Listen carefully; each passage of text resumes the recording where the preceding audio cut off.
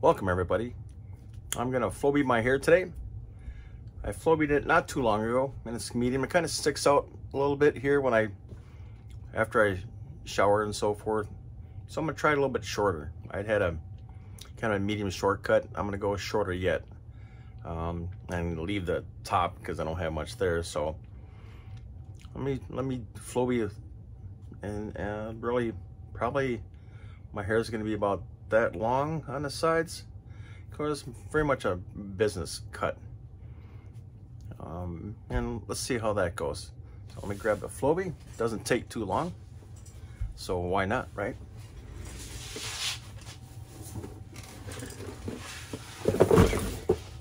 And I'll put oil on it again. This is what I used last time for the sides. And I had a little bit longer for the top.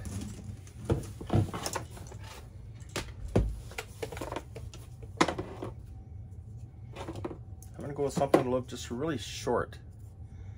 So this here is probably about 3 eighths thick. They make shorter ones. They give you all kinds of different attachments. Not sure, maybe I'll go this short. That's maybe too short. You can always go shorter.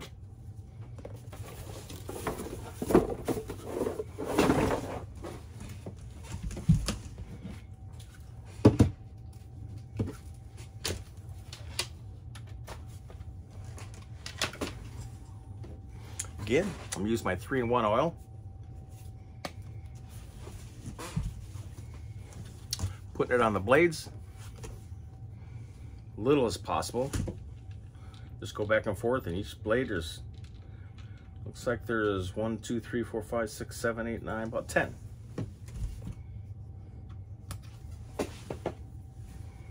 So you can see it's kind of, I don't know if you can see that or not. A little oil in it. Gonna snap this one on. And I'm gonna measure it. Actually measure it so I can see how long. Two millimeter, which is three quarters of an inch. I think that's too long. If I put the shorty one in, the shortest one that they make,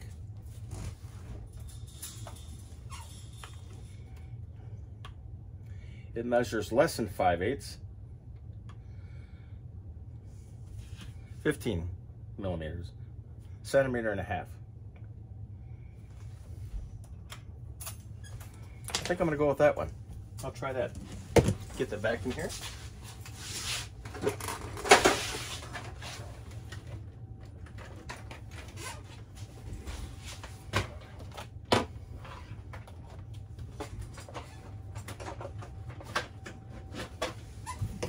Plug it in and off I go.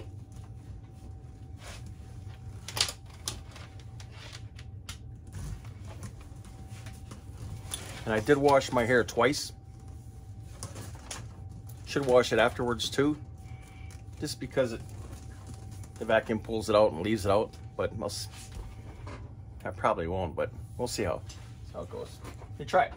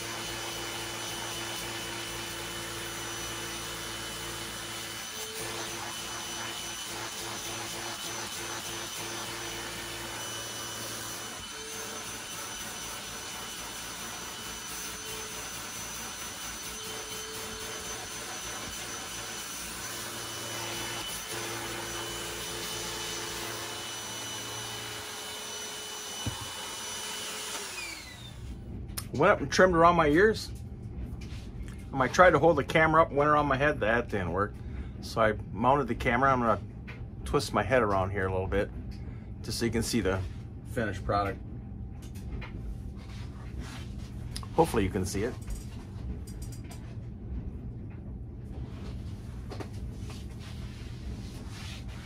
It's pretty short and I didn't touch the top because there's not much there.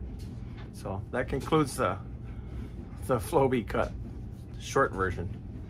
Um, next up, um, actually I, I'm still working on my garage pull down fishing pole rack. I just haven't made my mind on how I was gonna do it. It looks like I'm just gonna frame it out because I need a lightweight. I got about 17 inches above my garage. Hold about 12 poles and plus all my fishing tackle boxes and stuff. Um, and what I used was I had an old, the old garage doors have two springs on a rod. The rod is 20 something foot long. I cut it down to eight foot, slid one of the springs down. It had pulleys on the end, so I pulled the pulleys on the each side of the eight foot rod after I cut it. And that'll use to bring up and down, be like a pull down fishing rack above the garage. I think the spring is gonna be too, too much. Even though I'm only using one of them, it looks pretty big. I'll probably, my guess is I'll probably end up using like a roll up um, air hose. You got those round things that you can, they retract. I have one in the garage. I'll probably test it with that, see if that works. Um, but we'll see. That's about it. Um, thanks for watching. Uh, subscribe, hit the like, do all that good stuff, please. And uh, you can also click on my name below for, for see all my other builds. So thanks for watching. Have a good day.